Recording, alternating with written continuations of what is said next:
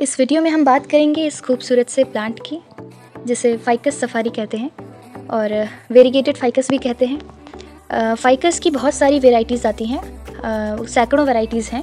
उनमें से ये बहुत ही खूबसूरत वेराइटी है। मेरा पर्सनली ये बहुत फेवरेट प्लांट है। फाइकस की पत्तियों की बात करें तो पत्तियों का रंग इसका बहुत ज़्यादा अट्रैक्टिव होता है। मेनली इस प्लांट में यही है। इसकी पत्तियाँ ही बहुत खूबसूरत होती हैं। आप देख सकते हैं, इसके जो एजेस हैं, उसमें येलो कलर है। येलोइश कलर है और बीच में ग्रीनिश कलर है। तो येलो और ग्रीन कलर में ये प्लांट अमूमन रहता है। इसकी दूसरी वैरायटी में एजेस पे वाइट कलर होता है और बीच में ग्रीन कलर होता है। तो वो भी अच्छा होता है, पर मेरा ज़्यादा फेवरेट ये है। और हाइट की बात करें तो कुछ सेंटीमीटर से ये प्लांट कई मीटर तक ग्रो कर सकता है, अगर ज़मीन पर है। तो काफ़ी ऊँचे ऊँचे इसके पेड़ हो जाते हैं। और अगर आपका पॉट में है तो पॉट में आप अपने हिसाब से इसकी प्रूनिंग कर सकते हैं। इसका बंजाई बना सकते हैं एज यू लाइक ये इजी टू ग्रो प्लांट है इजी टू मेंटेन प्लांट है. थोड़ा बहुत इस प्लांट में कुछ इसकी बातें हैं जो आपको मैं आगे वीडियो में बताऊँगी कि इस तरह से इस प्लांट की थोड़ा सा केयर आप कर सकते हैं. सॉइल की बात करें तो इसको वेल ड्रेन सॉइल पसंद है सैंडी सॉइल पसंद है. इसकी मिट्टी में अगर मिट्टी आप अगर रेतीली लेते हैं तो सबसे बढ़िया है क्योंकि मिट्टी को मॉइस्चर काफ़ी पसंद है. अगर आप इसके गमले में ह्यूमिडिटी बनाए रखते हैं तो ये प्लांट काफ़ी अच्छा चलता है। मतलब आप ध्यान रखिए कि मिट्टी जब भी दिखे डैम्प होनी चाहिए, क्योंकि अगर मिट्टी ड्राई हो गई, कुछ ज़्यादा ड्राई हो गई तो इसकी पत्तियाँ ऐसे जलने लगती हैं और पत्तियाँ ख़राब होने लगती हैं। तो मिट्टी को ह्यूमिडिटी पसंद है। बहुत ज़्यादा गीला नहीं करना है, मिट्टी को वेट नहीं बनाना है। बस थोड़ा सा मिट्टी में नमी रहे तो प्लांट अच्छा चलता है। अगर आपकी पत्तियाँ ऐसे पड़ रही हैं, ऐसी जल, जलती हुई दिख रही हैं आपको इसका सबसे मेन रीज़न ये हो सकता है कि आपके पौधे में पानी की कमी है। तो आप इस हिसाब से इसको ठीक कर सकते हैं। पौधे को एक्सेस वाटर भी नहीं देना है, एकदम मॉडरेट वाटर कंडीशन रखनी है। इसके अलावा इस प्लांट की विशेषता है कि इसको रूट बाउंड पसंद है। इसीलिए इसको, इसके जिस हिसाब का पौधा है, उस हिसाब के आपको पॉट में इसको लगाना चाहिए। अगर छोटा छोटा पौधा है तो छोटे पॉट में ही लगाइए, क्योंकि ये जल्दी से रूट बाउंड कर लेगा और फिर वो प्लांट अच्छा ग्रो करेगा। तो पिक्चर में आप देख सकते हैं, इस तरह से ये प्लांट ऐसे रहना पसंद करता है। आप प्लांट को तभी रिपोर्ट करें जब आपको प्लांट में कुछ समस्या दिखे और रिपोर्टिंग आप इसी तरह से करें जैसा पिक्चर में दिखाया गया है। जितना पार्ट आप पौधे, गमले से बाहर निकाल सकते हैं, उसको निकाल दीजिए और एज इट इज़ इसे दूसरे प्लांट में रिपोर्ट कर दीजिए। थोड़ा सा साइज़ में बड़ा हो जाए और उसमें थोड़ा बहुत जो एक्सेस स्पेस होता है, उसमें आप मिट्टी डाल दीजिए, जो भी डाल दीजिए। तो इस तरह से पौधा रूट बाउंड पसंद करता है तो आप इस इसको रूट बाउंडेड रहने दीजिए, वरना पौधा ख़राब भी हो सकता है। तो अब बात करेंगे इसके प्रोपोगेशन की।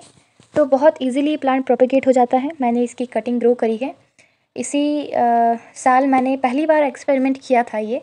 फाइकस और बहुत सारे ऐसे पेड़ जो इंडोर प्लांट्स होते हैं जिनकी कटिंग हम लगा सकते हैं। तो मैंने इसी साल पहली बार विंटर्स में ट्राई किया कटिंग्स को ग्रो करने का। मुझे लगता था कि विंटर्स में कम लगती है कटिंग्स लेकिन सच ये है कि अगर आपके पास मॉडरेट कंडीशंस हैं और आपने अगर अच्छे तरीके से कटिंग्स को ग्रो कर कटिंग को आपने लगाया है उसको आप छेड़ नहीं रहे हैं, अच्छे से ग्रो होने दे रहे हैं तो कटिंग आसानी से लग जाती हैं। और इसी तरह से एक ये कटिंग भी मैंने लगाई थी अक्टूबर के स्टार्टिंग में। तो ये देखिए आप इसमें रूट्स काफ़ी अच्छे से डेवलप डेवलप हुई हैं और बहुत बढ़िया ये कटिंग तैयार हुई है। मुझे उम्मीद नहीं थी कि इतनी अच्छी तैयार हो जाएगी, लेकिन फाइकस की कटिंग तैयार करना बहुत आसान है। इसको मैंने कोई भी रूट हार्मोन नहीं दिया है। कुछ भी ऐसी कोई केयर करी ही नहीं है। कटिंग डायरेक्टली मैंने ऐसे मैंने सिर्फ़ और सिर्फ़ चेक करने के लिए मैंने इसको फिर दोबारा देखा भी नहीं। आज वीडियो बना रही थी, तभी मैंने एक बार चेक करने की सोची, मैंने कैसे भी चेक कर लेते हैं। तो मुझे लगा कि इसमें रूट्स आ गई हैं। और इसमें कुछ दिनों से मैं देख भी रही थी कि इसमें पत्तियाँ आने लगी थी। तो इस तरह से इसकी कटिंग भी आसानी से लग गई। तो ये एक एक्सपेरिमेंट था मेरे लिए और एक्सपेरिमेंट सक्सेसफुल रहा।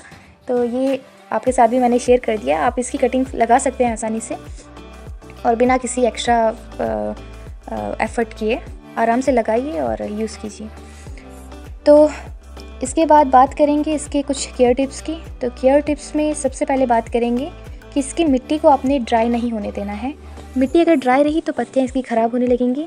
मिट्टियों का एक कनेक्शन सनलाइट से भी है। अगर सनलाइट भी इसे बहुत ज़्यादा मिल रही है डायरेक्ट सनलाइट मिल रही है और काफ़ी देर तक मिल रही है, तब भी इसकी पत्तियों का कलर ऐसा हो जाता है। पत्तियाँ जली हुई लगने लगती हैं। तो इस तरह से आपको इसको डायरेक्ट सनलाइट से भी बचाना है। खैर विंटर में तो आप इसको दे सकते हैं। विंटर में वैसे भी सनलाइट इतनी तेज़ नहीं होती है। पर समर्स में आपको इसको एकदम डायरेक्ट सनलाइट से बचाना होता है। विंटर्स में आप रख सकते हैं। और जब कोई पत्तियाँ ऐसी गलने लगें या फिर ख़राब होने लगें तो उनको निकाल दीजिए, ताकि बाकी पत्तियों पे इसका प्रभाव ना पड़ सके। दूसरी बात है लाइट का बता दिया लाइट आप इसको ब्राइट लाइट में रखिए। आजकल सर्दियों में जिस जगह पे चार से पाँच घंटे की धूप हो, या फिर सर्दियों में आप अगर चौबीस घंटे भी इसको घर से मतलब आउटडोर में रखते हैं तो कोई दिक्कत नहीं है। बस थोड़ा बहुत पाले वगैरह से बचाना होता है। तो ज़्यादा आपके यहाँ अगर फ्रेश पड़ता है तो उस हिसाब से देख लीजिएगा, वरना अगर ठीक मौसम है मॉडरेट कंडीशन है तो इंडोर रखिए आउटडोर रखिए, बस तीन चार घंटे की आप धूप इसको दिखा देना। फर्टिलाइज़र विंटर्स में नहीं देने होते हैं। टेम्परेचर की बात करें तो 25 से 35 डिग्री के बीच का जो टेम्परेचर होता है twenty five to thirty five degree Celsius तो उसमें ये प्लांट अच्छे से ग्रो कर जाता है क्योंकि ट्रॉपिकल रीजन का प्लांट है ये भी। और 35 से 40 तक भी ये प्लांट आसानी से चल जाएगा। इस प्लांट को बुशी बनाने के लिए देखो, मैंने अभी इसमें कोई प्रूनिंग नहीं करी है क्योंकि मेरा पौधा बहुत पुराना नहीं है। तो मैंने इसे भी थोड़ा ग्रो होने दिया है। प्रूनिंग आप स्प्रिंग में कीजिएगा रिपोर्टिंग भी आप स्प्रिंग में ही कीजिएगा। और बहुत ज़्यादा अगर ज़रूरत पड़ रही है, अगर आपका प्लांट ख़राब होने लगा है, तब आप कर सकते हैं। लेकिन रिपोर्टिंग अगर आप स्प्रिंग में करते हैं समर सीज़न में करते हैं तो अच्छा रहेगा। वरना अगर ज़रूरत है तो कर लीजिए अभी भी। और दूसरी चीज़ मैं बता रही थी प्रूनिंग तो अगर आप कैनोपी बनाना चाहते हैं अपने प्लांट की, हालाँकि ये प्लांट कैनोपी में ही काफ़ी अच्छा लगता है ट्री शेप में। तो इस तरह से आप उसकी प्रूनिंग कर सकते हैं और उसको थोड़ा बुशी बना सकते हैं। तो इसकी प्रूनिंग मैं आप अगले समर सीज़न में करूँगी। अभी इसकी प्रूनिंग नहीं करूँगी। और बुशी बनाने के लिए आप इसकी प्रूनिंग करें। और जो प्रूनिंग जो प्रून कटिंग्स होती हैं, जो प्रून करी हुई कटिंग्स होती हैं, उनको आप ग्रो कर सकते हैं फिर से उनका प्लांट बना सकते हैं। थिक स्टिक के लिए भी अगर आपको इसकी स्टिक थिक चाहिए उसके लिए भी प्रूनिंग ही सबसे बढ़िया है। आप इसकी टिप से प्रूनिंग करें या हार्ड प्रूनिंग करें आप कर सकते हैं। हार्ड प्रूनिंग इतनी भी हार्ड नहीं करनी ताकि जिससे पौधे को दोबारा ग्रो करने में काफ़ी दिक्कत हो। जब भी आप हार्ड प्रूनिंग करें तो ध्यान रखिए कि जहाँ से कटिंग कर रहे हैं आप उसके नीचे थोड़ा बहुत आ, कुछ स्टेम्स निकली हों ताकि पौधे को कुछ चांस मिले ग्रो करने का। एकदम से बंजर पौधे को नहीं करना चाहिए। तो इस तरह से आप इस प्लांट की थोड़ा बहुत केयर कर सकते हैं। बाकी वही विंटर्स में आप मल्चिंग कर सकते हैं। ह्यूमिडिटी को मेंटेन करना है। विंटर्स में थोड़ा बहुत अगर ड्राईनेस भी रहे तो चल जाएगा। इस प्लांट को लगाने के फ़ायदे क्या हैं? तो फ़ायदे वही हैं। आपको ऑक्सीजन अच्छी ऑक्सीजन मिलेगी। ऑक्सीजन आपको प्योरीफाइड ऑक्सीजन मिलेगी। जो हमारे एटमॉस्फेयर में जो टॉक्सिक एलिमेंट होते हैं फॉर्मेल्डिहाइड हो गया जाइलिन हो गया टॉलिन हो गया, इसी तरह बहुत सारे एलिमेंट होते हैं, जो एटमॉस्फेयर की टॉक्सिटी को बढ़ाते हैं तो उससे आपको बचाएगा। और हर प्लांट यही करता है। तो इस तरह से आप इन प्लांट्स की केयर कर सकते हैं। बहुत ही बेहतरीन प्लांट्स होते हैं। एक बार लाएँगे तो सालों साल चलेंगे।